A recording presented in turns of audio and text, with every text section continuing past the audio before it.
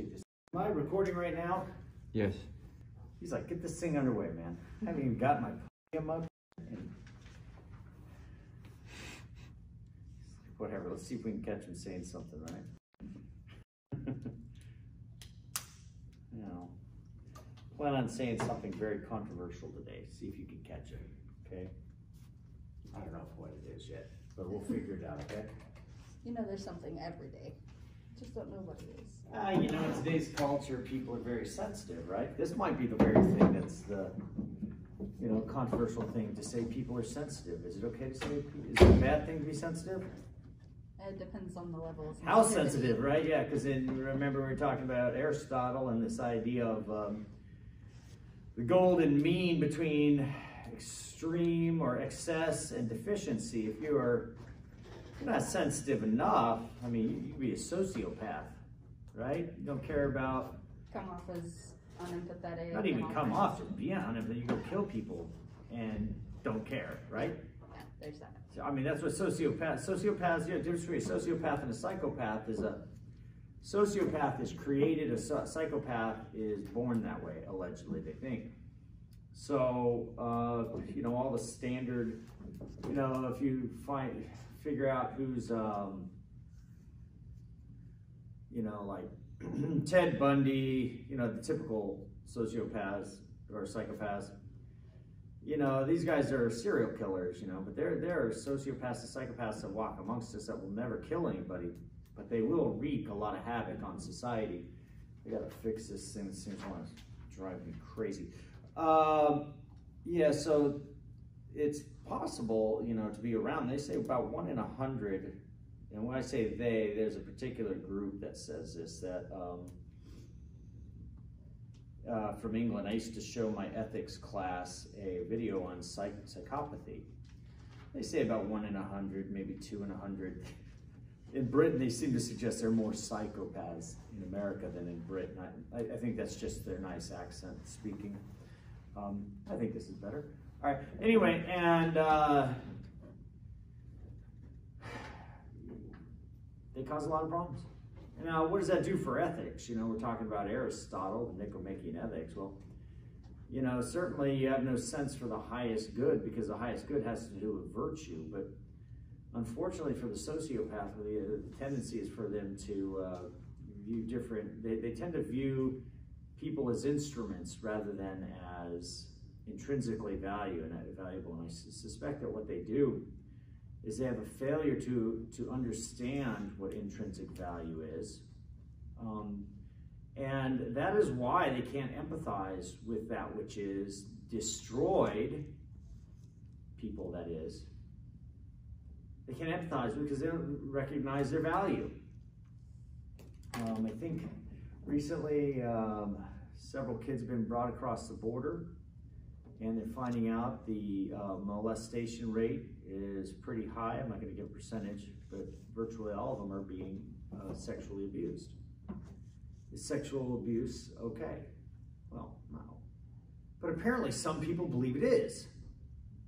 I don't think it's so much that they think it's okay. They just don't care what the That's right. the like They don't what care. they do. They don't care what happens to them as long as they get what they want in that moment. Do you think they would pass a bill, uh, you know, which many of them would? It's called NAMBLA, the uh, North American Man Boy Love Association. Would they pass a bill Um, into law that lowers age of consent laws so that they could have sex with your son or daughter? I absolutely believe there are some people in power that would do that. All right, Yes. I think recently there was a judge who um, who just got caught with 28 images of uh, boy, young boys being abused. Yeah, they were on his home computer, his work computer, and his phone. Oh, you know the guy? Mm. No, I don't know the guy. I saw the uh, news headline though. Yeah. Uh, it was now. Tell me about this judge. Is he of any importance to anybody? Um, I mean, I'm sure he has family who cares No, about no, him. politically. Oh. He was a political judge. He was, but he's But I mean- I not mean- very high up. It's not like he has superpower. Like, He's not on the Supreme Court, but, Yes. what- but he did have, uh, there were certain cases that he had uh, decided, having, uh, one of them specifically having to do with trans sexual book reading time in the libraries where there were people having problems with um, with what was it called? Um,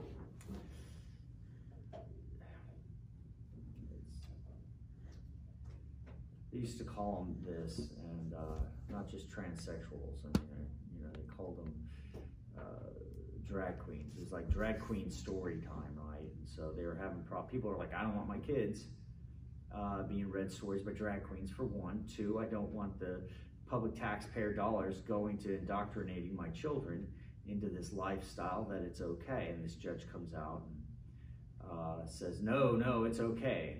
Okay, so he, this is the judge that kind of uh, made that statement, and so, uh, so he, you, you, see, one of the things um, that is going on in our current society is that certain people with certain worldviews uh, are finding themselves in positions of power as gatekeepers. What do I mean by that? Like book publishers would be gatekeepers, who those who decide what books get published, what books do not get published, right? And if they don't like what you say, that the person and you know, the editor just goes, oh, sorry, we're just not looking for this manuscript type at this time. Go find somewhere else. And, you know, they don't tell you why. They don't say, well, we're, uh, you know, we're, we're of this political or religious view, and we don't like your political or religious view, so we're not going to let you, you know, say it. Yeah, because then that would be unethical.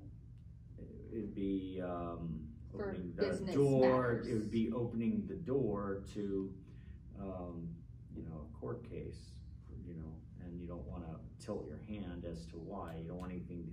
You, you don't want your words to be used against you you say things like, "Oh, sorry, we're just not looking for this type, or we've got this, you know, too many, or you know, it's just not what we're looking for, or whatever." Very basic, plain lines. Vague, as vague as you can be. Yeah, don't give any information. So, so you'll find that bureaucrats, people who find themselves bureaucrats, are unelected officials that work in government or in the system, uh, and they find themselves in positions of power.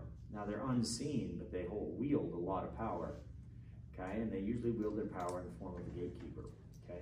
So on this campus, like for example, if we had a club, you know, that wanted to get, you know, accepted new club put out, and uh, let's say the person in charge of, you know, accepting requisitions uh, for clubs doesn't like the club for political reasons, she or he could say, oh yeah, this we can't have this kind of club on this campus for whatever reason, okay? And they're the gatekeeper, and that's that's kind of one of the things that goes on. And now that's power. Would you agree? That's not philosophy. That power does not might does not make right. We ask the question of something right or wrong. You could have something that's uh, morally good, uh, but that doesn't mean it'll get through. Okay, so there are those who just believe political power is good. And then there are those who believe uh, good is independent of power. Okay? So you could, for example, the Christian message, the gospel, is very unlikely to be heard a, on a college campus that's not a Christian university. Well, because those who pull the levers of power in both our government and at the schools uh, just aren't going to allow that to happen because they're gatekeepers and they often keep uh, Christians out of the conversation. They keep Christians off of committees. They keep Christians from being uh, hired at, at college campuses. It's very difficult, for one, just in general, to get hired as a college professor. I, you know, it'd be easier for me to go back into acting and get gigs, right? Uh, but, you know, let's pretend it's even harder because you're a Christian trying to work on a secular campus where uh, the vast, vast, vast majority of the professors there are, are neither conservative nor Christian. Okay? Conservative meaning they'd be congenial to the Christian worldview, Christian being very specific to that. Okay? And so it's very, you know, so uh, worldview um, is very important for one, but but power is another. The ability to express your worldview and there are those out there who have taken on, uh, you know, places of power as gatekeepers, news outlets, uh, hiring committees, etc. You, were you about to say something? Um, when being hired to a uh, campus, do you have to disclose your religion? Depend. Uh, no, but this is how it works. I hand out a CV, which is called curriculum vitae. On that curriculum vitae, um, if you want to be hired, you must have published. Mm-hmm. And so they want to know what you've written about. So, you know, obviously. You write about. I wrote about, look, I've written about uh, same sex marriage, and I did not write about it in the affirmative. I can guarantee I'm not going to be hired by a secular college. It's just not going to, the chance of that happening is so rare indeed. If I were hired, my head, I mean, they'd be hunting my head right away. There'd be people in there, we got to get rid of this guy. Yeah, they'd be looking for a reason to get you fired. They've already got a reason. Well, they'd call me a homophobe, a transphobe. Reason, like, they'd call me a sexist, they'd call me a racist and everything. I've been called everything under the sun uh, for, for being a Christian, okay? For, for being against same-sex marriage, okay? Um, question, but that's okay. I mean, you could call me whatever you want. Um, I think at the end of the day, if you call me Christian, that is, you know, and you don't like that, that's a good thing, okay? Because if loving God was a crime, then I'd be an outlaw, as the song says. Okay? It's a great song. And that's what it comes down to. Does loving God change how you act? And do you have pressure to act differently? And in today's society, you absolutely have pressure to act differently as a Christian. If you're a Christian and you act out your beliefs, you are certainly even more so, even more so than when I was your age. Because of social media, you put down not just I'm a Christian, that's one thing, that's vague. I believe in the Christian ethic. What is the Christian ethic? When it comes to homosexuality, what does Scripture say about it? What? They should be stoned to death, like that. Ah, well, that was Old Testament. Um, yeah, but uh, Jesus said, you know, he who is without sin cast the first stone. So we don't stone people to death anymore. Uh, we'll let God do the judging. But that does not mean sin is gone, okay? It doesn't mean that homosexuality is wrong, okay? Uh, doesn't mean that, but I mean, I mean, we talk about sexual immorality in general. I mean, I, I talk about homosexuality, and that's, but what about the heterosexual or their heterosexual sins? Absolutely, the watching of pornography. You know, that's certainly something uh, young men and even women nowadays will struggle with. It's both the treatment of other women as uh, even the men as uh, objects of pleasure rather than subjects worthy of, of love, and grace, and mercy, and, and the like. Uh, it, it, turns people into objects, not subjects, like I said. Um, it, it, destroys your, your ability to have intimacy with your own wife. It destroys the concept of what a family is, that a father and mother, or husband and wife come together to become uh, uh, fathers and mothers to rear children and to do so in a healthy way. Um, like I said, so when you're, and then think of all the abuse of children that we just discussed. Uh, do you think that can be um, stimulated by pornography uh, viewing? That, that do you think that those uh, people who are hurting children also are, are uh, partakers in that industry? I bet they are. So I would say yes, but I don't think that their want to hurt children comes from porn. Like, I'm sure it doesn't help, especially with the vast amount of Let, us say this: it existed world. prior to porn. It is not necessary to have porn to do it. Do I think However, it inflamed it? Yes. Do yeah. I think it is the cause of it? No. Right. So I mean, it's in there now. It, it aids the fantasy. How many how many marriages have been destroyed by porn? Lots, and I know several personally. I have no idea. Oh, I, I know personally on an anecdotal. I can't give you a stat because I'm not a statistician and I don't trust them anyway because the stats don't lie, but liars use stats. But I do know anecdotally several marriages that have been destroyed over over that stuff. Okay, I know marriages that have gone from just being pretty decent to um, um, opening up their doors to other people into the bedroom, which has resulted, yes, and so, yeah, because that's what that stuff preaches. Well, anyway, point being, I, my point isn't that, you know, sexual ethics from a Christian worldview is strictly anti, strictly anti-homosexual, which it is, but it is also has a strong moral component to our sexual act, you know, activity that it is geared towards the creation of a family and the, the bringing together of, of a husband and wife. Okay, that's a great thing. It's a beautiful thing. What it's created for, the deviation from that is what destroys it. So, so, but if people looked at my CV and they saw that I spoke out against this, they'd be really mad. Okay, and they are mad. I've had some very nice statements about me made.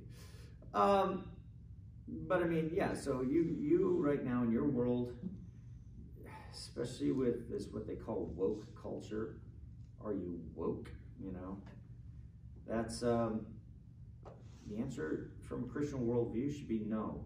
I am not woke. I am a Christian. Okay, that's the way it works. Okay, and to be a Christian means you follow Christ.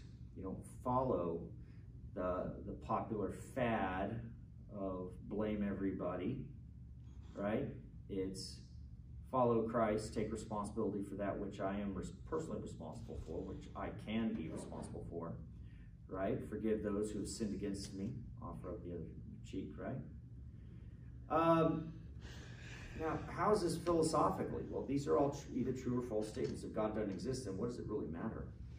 If you're a racist, if you're a Christian, if you're whatever, right? Who cares?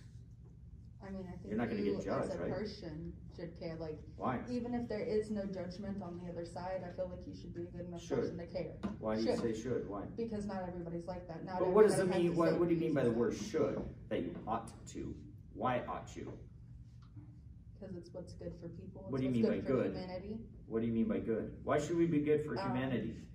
Because it makes the world a better place to live. Why do we care if it's a better place? I'm not saying you do. I'm just saying should. Why should we? That's what I'm saying. Uh, do is a descriptive term. Should is a prescriptive term. Because Why should I care at all?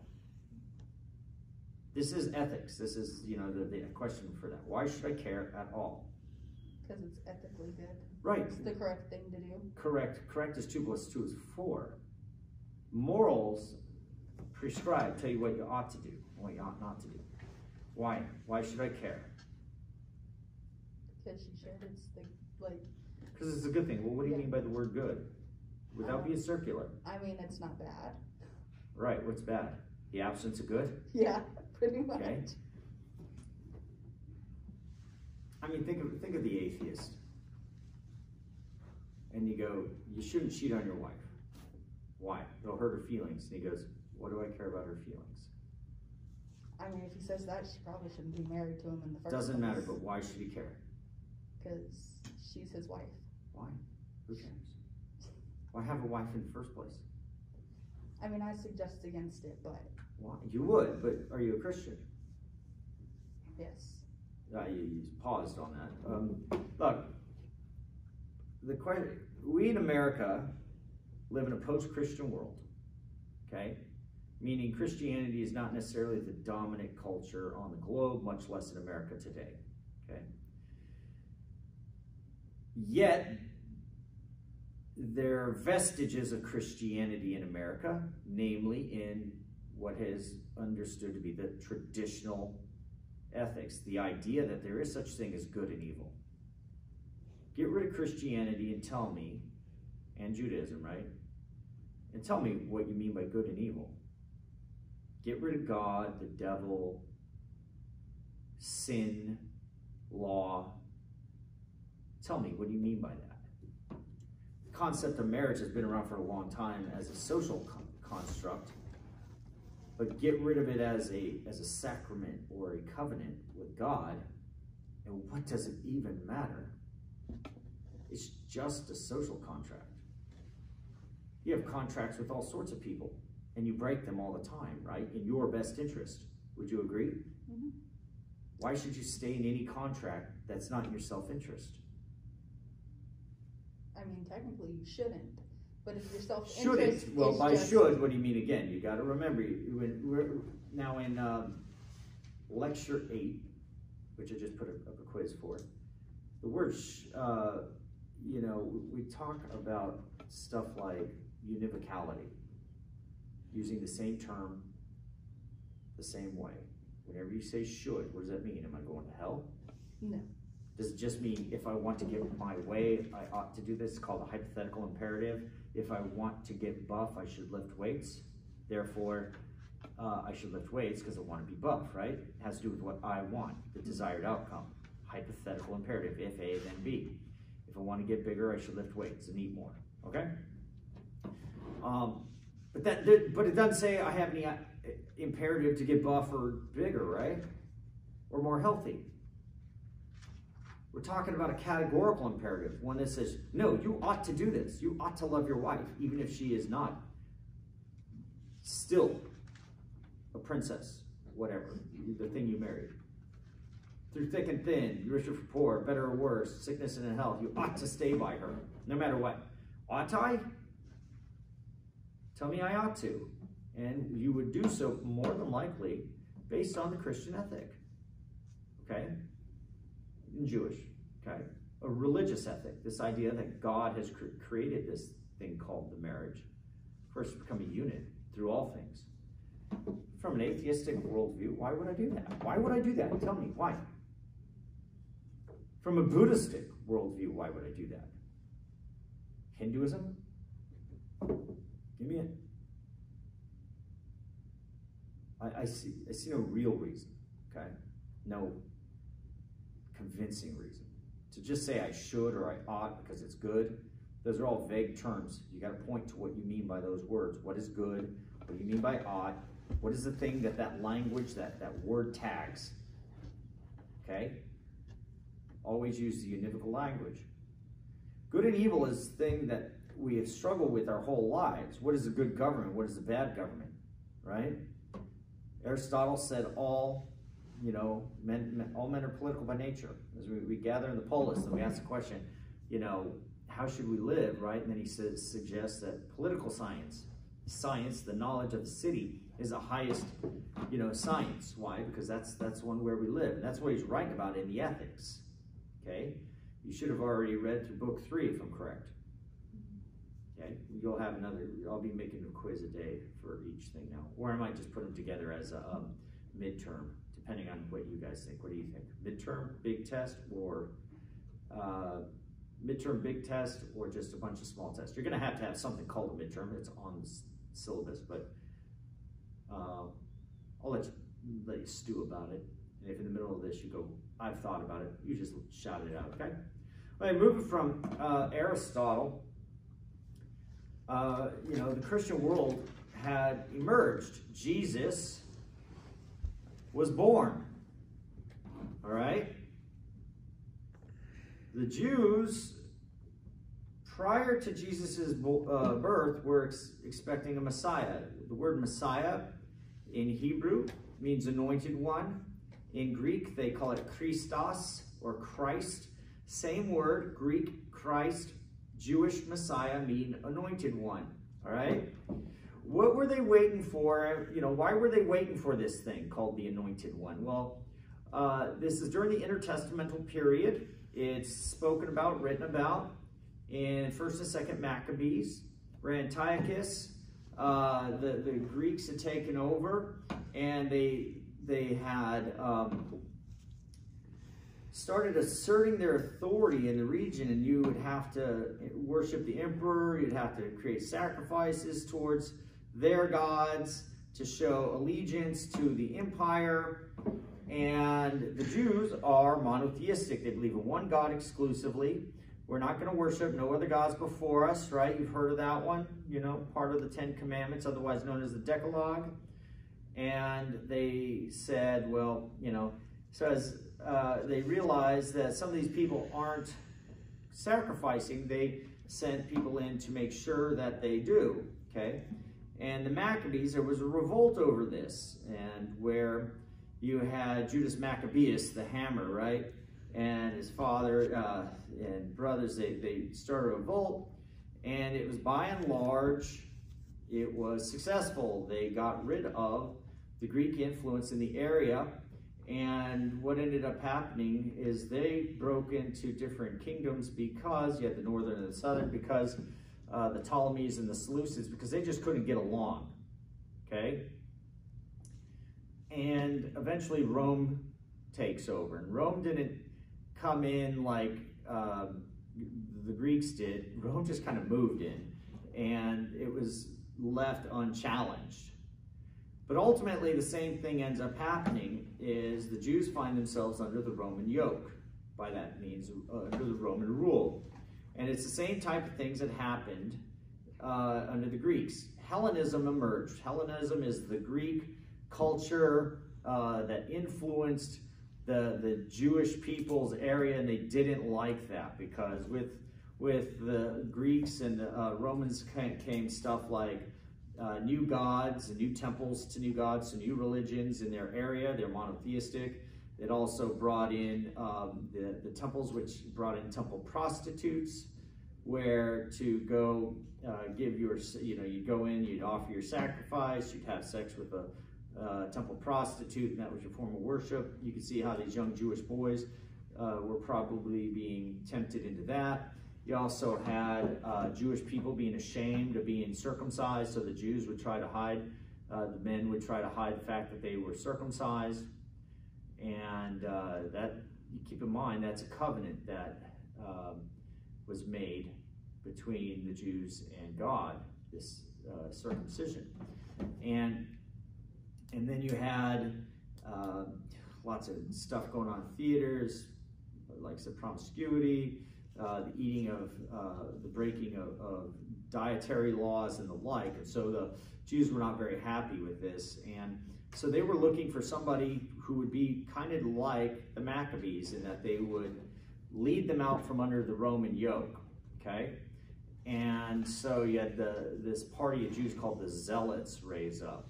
There are four parties of Jews. You had the Sadducees, the Pharisees, the Essenes, which were like monks, okay? And then you had the Zealots, those who wanted to overthrow the government and restore uh, the Jews back to power. Jesus was born into this. And so this idea that Jesus is the Messiah, the anointed one, they would have expected what? Somebody who's going to lead them out from under the Roman yoke. Not a dying and rising Messiah, not one who's going to not establish his kingdom on earth, but establish it in heaven, right? Your will be done on earth as it is in heaven, okay? And so Jesus comes and he's uh, this answer, but then, of course, he uh, is rejected by the leadership of the church, many of the Jews. Many, the early church was Jewish. Um, we could talk about, we will talk about Christian theology, and you should already know this quite a bit. But during this time, of course, in you know, we're talking in Rome, which is influenced by the Greeks. Uh, so you have uh, Greek thought, Christian thought, all right? And you have uh, Jewish thought, Christian thought, and the Greeks. And so you have a lot of different ideas of what good and evil is. Do they jive? Do they go together? What does Jerusalem have to do with Athens? Tertullian would have asked and did ask. Should you reject all things that have to do with Plato? Or do you test all things, as Scripture says, and hold fast to that which is good? The answer is in what I just said. So if it is true, you hold on to it. If it's false, you get rid of it, of course. Mathematics isn't taught in the Bible, doesn't mean it's false. Okay? Well, so there was a guy named Augustine. Now, I'm going to flash forward after Christ's death, burial, resurrection, ascension. We're going to talk, uh, we're going to flash even past the Acts of the Apostles, the spreading of the gospel. And I'm going to let you know that uh, for the first four centuries, Christianity was illegal. Okay? Until the Edict of Milan, which made Christianity legal. Constantine did that. Up until that point, Christians were burned at the stake, fed to the lions and beasts in, in the in uh, you know, and basically their gladiatorial events. And you know, your opening act would feed the Christians to the beasts, and then let's have some good old fashioned fight to the deaths, right? Well, um, Christians would often, um, you know, they, they met in catacombs that which were underground uh, cemeteries. They uh, had secret symbols like the fish, right? Scratch a symbol one side of the fish in the ground. Guy scratch another side with his foot. You go, okay, he's a Christian brother. I can talk, right? The original church was mostly women because most of the uh, uh, women, women were found and raised by the Christian church. They were abandoned to be put to death because men uh, and women generally wanted boy children to carry on names, to do farm work. They were seen as an asset, not a liability. So if you had a female, you, you could you, you were less likely to want to feed her. So you take her and you'd leave her on the dump. You let her die. That's infanticide. They, if you thought you were going to have a girl, uh, you might have an abortion. Yes, abortions did exist back then. The church spoke out against both of these practices vehemently in um, in the Didache.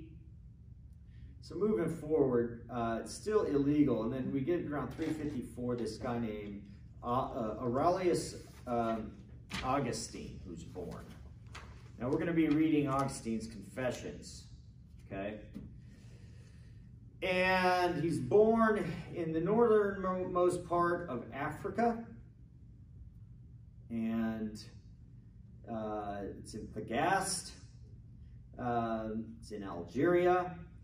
And um, that's about all we need to know about that. He was 75 when he died. He's considered the most important Latin father of the Christian church and suggesting that he's perhaps most significant uh, and an influential theologian since Paul the Apostle. Okay?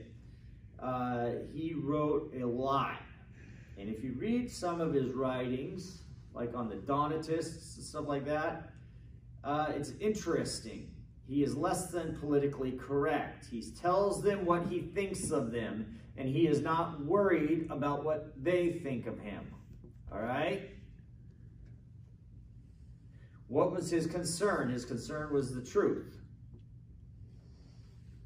Now, Augustine himself was a perfect human being. He never sinned ever, not once in his life. And if I ever tell you that about anybody other than Jesus, the first thing you should say is BS. It's not true. Okay? Augustine was not a saint to begin with. Augustine, when he was raised, uh, he was a spoiled child, so to speak. He was being taught rhetoric. Now, the way things worked back then is if you were to go to school, you would uh, basically, there were different schools of thought, but I mean, you, you would learn certain things. And in his case, he would learn rhetoric. Now, rhetoric is the art of convincing people. Now, people used it in politics and in law and the like. His goal was to become a, a professor of rhetoric, a teacher of rhetoric, and they would make their money. You know, you go learn, you teach, and you get students. And it would, if we had school like that nowadays, I think I'd do pretty well because, you know, rather than have to get hired by a school, you know, instead you just go out and get students, right? And then I, let's say if I got five students a semester, charge each $3,000 a class, right? It's not a lot of money. All right, let's double that. Okay, 10, so it's $30,000 a semester, do three semesters, you know, with summer and all that. A good 90000 a year to teach what? 30 students, is it? Not bad.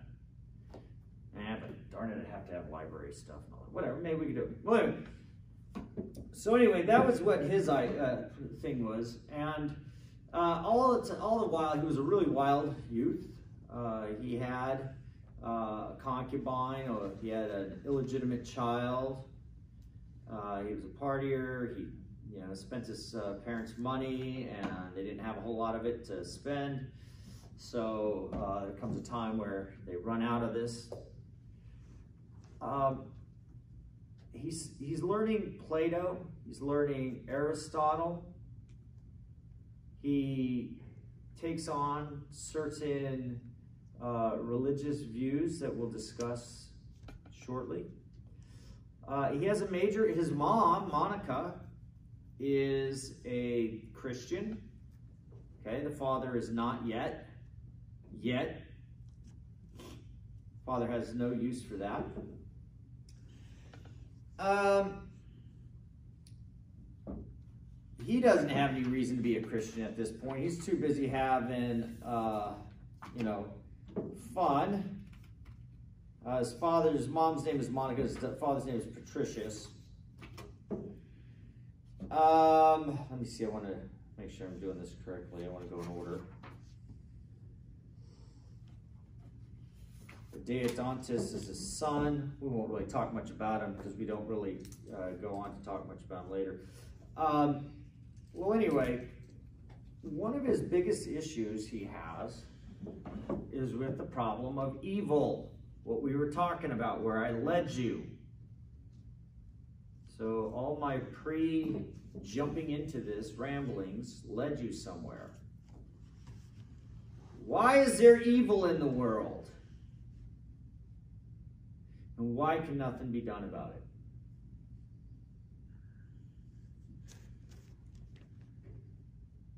Should nothing be done about it? Right?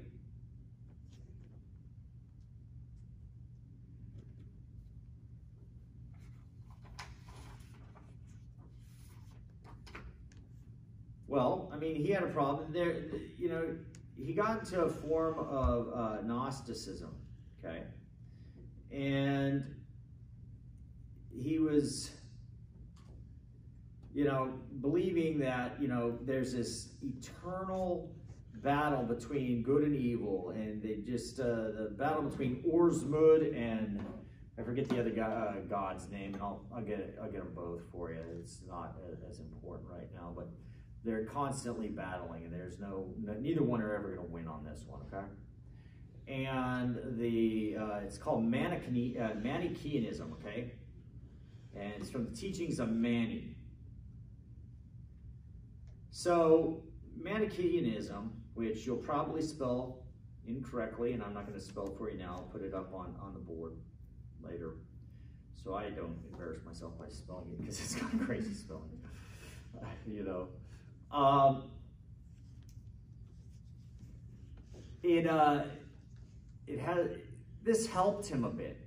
It kind of gave an answer to what good and evil was. But as Augustine started reading more Aristotle and more Plato, what do you do when you start reading philosophers?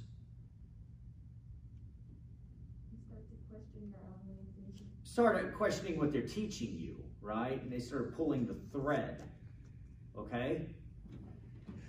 And when you start pulling the thread, the sweater starts to fall, fall apart. And so he started questioning his teachers of uh, Manichaeism, and I don't know, man. Don't, just wait till this guy gets here. And, you know, once the this you know guy was supposed to be this great teacher of uh, Manichaeism shows up. He found out this guy didn't know Jack. He's like, all right, well, I'm done. But he had taken on Neoplatonism and uh, Aristotelianism and all this stuff. Now, Neoplatonism is a little different than Platonism. Neoplatonism takes on the view uh, that there's this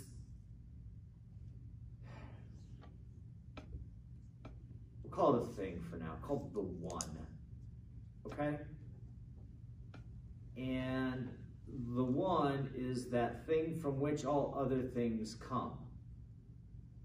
Okay, now, by the way, that's that's sounds like God. That thing from which all other things come. All right? And anything that is uh, the result of this is obviously less than that which it comes from. Makes sense?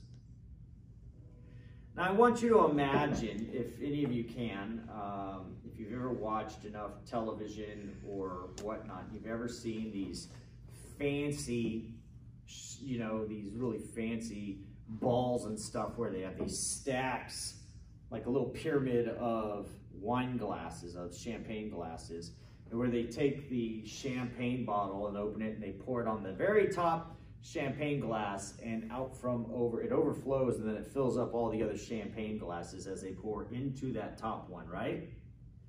That's kind of like how reality is uh, dispensed from the one. It overflows, so to speak, right?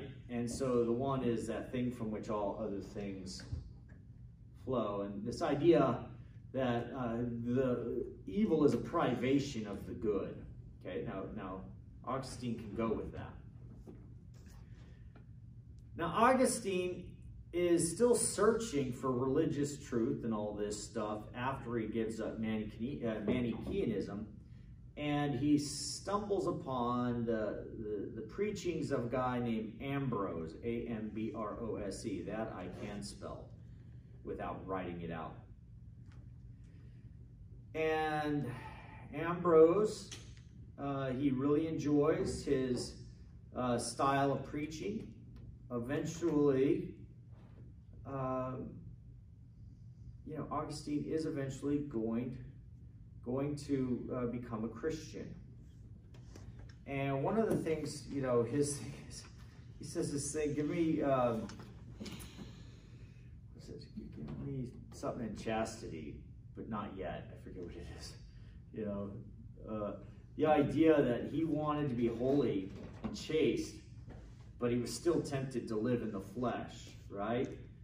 And he really spoke uh, pretty eloquently as a, as a young man who struggled with the idea of, of what it means to become a Christian. And so when he finally did decide he was going to become a Christian, he really went head headlong into it. And he ended up becoming a bishop eventually and a prolific uh, writer in, of uh, Christian thought. Now, the, the book we're going to read from him is called The Confessions, and this is pretty much his conversion story. And it starts off with saying, The heart is restless until it rests in thee. The heart is restless until it rests in thee. Now let's let's go back to Aristotle and talk about the idea that we're pursuing happiness. This idea that we pursue that thing for which no, you know, uh, we want for itself and nothing else more, right? And ask yourself if you are restless and for what are you restless? I train for a lot of things. Um, I remember when I was working towards my PhD, uh, I had a picture of the regalia I would get to wear, the, the robes. I always thought the Baylor robes were really cool, green and gold, really cool looking. And I had a picture, that's what I got to earn. And then, you know, uh, I also had the idea of my dissertation a big old diploma on the wall. Is that happiness? Well, I got it. I'm really thankful for those things. I never actually bought the regalia. Um, no, it wasn't it. Because once that's that's already been a long time past. Okay. Should I just hang it up? I, I already, you know, life has been lived. It's done. You know, nothing. It's nothing else.